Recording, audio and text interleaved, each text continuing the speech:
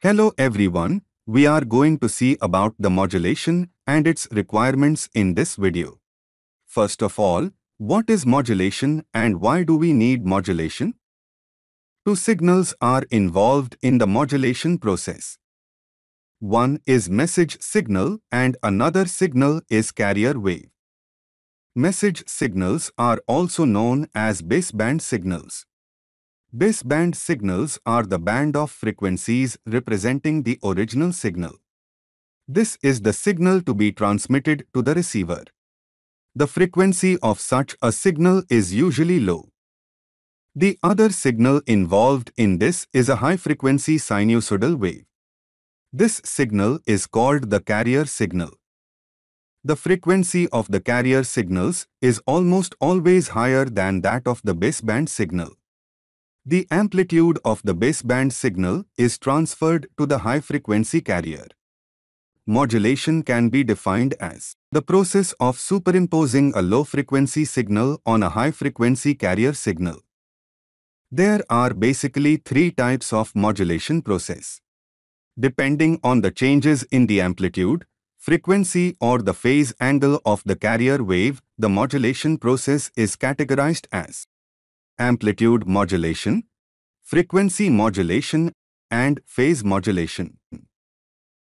What are the needs of modulation? The modulation technique is required to reduce the size of the antenna, effective power radiated by antenna, wireless communication, and interference from other signals.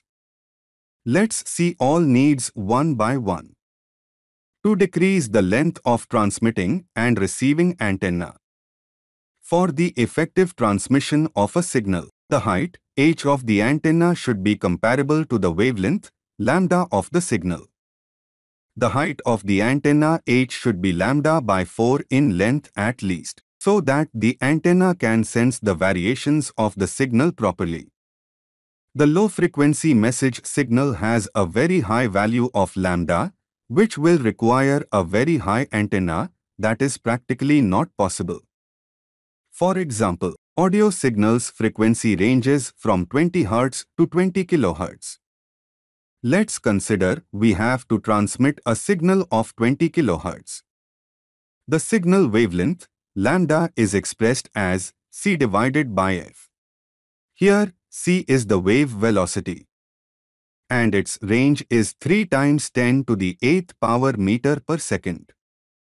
The wavelength lambda is equal to 3 times 10 to the power 8 divided by 20 times 10 to the power 3. The wavelength is equal to 15 kilometers. The height of the antenna, h should be lambda by 4 in length. The height here is 15,000 divided by 4, that is 3,750. Antenna size with 3.75 kilometers is not possible. Let's consider another example with the carrier wave frequency 20 MHz. Then the wavelength is lambda is equal to 3 times 10 to the power 8 divided by 20 times 10 to the power 6. So the wavelength is equal to 15 meter. And the height of the antenna h should be lambda by 4 in length at least.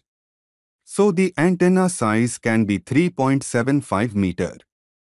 These examples show that we need to modulate the message signal over the high-frequency carrier signal so that we can have a practical value for the height of the antenna. Signal power radiated by antenna. Power radiated by an antenna is approximately equal to L divided by lambda, the whole squared. Where L is the length of the antenna and lambda is the wavelength of the signal which is to be transferred through the antenna. This relation clearly shows that when signals having a low frequency and high wavelength is transmitted directly, the power radiated by the antenna is very low and the signal will vanish after traveling some distance. So, the modulation technique is required to transmit such signals over long distances. We superimpose these low-frequency signals over the carrier signal, having a high frequency and short wavelength, so that the power radiated by the antenna of the same length will be very large. Wireless communication by using modulation to transmit the signals through space to long distances, we have removed the need for wires in the communication systems. The modulation technique helped humans to use the wireless equipment in a big way in their lives. Telephones no longer had to remain plugged into a wall. All these benefits of modulation have raised our standards of living considerably. Interference from other signals. This is a point from the practical applications. Suppose you are transmitting the baseband signal as it is to a receiver. For example, let's consider you want to transmit signal to your friend's phone. Just like you, there will be thousands of people in the city using their mobile phones. There is no way to tell such signals apart, and they will interfere with each other leading to a lot of noise in the system and a very bad output. By using a carrier wave of high frequencies and allotting a band of frequencies to each message, there is no mixing up of signals and the received signals are absolutely perfect. I hope this video helps you to understand about what is modulation and the need for modulation. Let's connect with another topic in next video.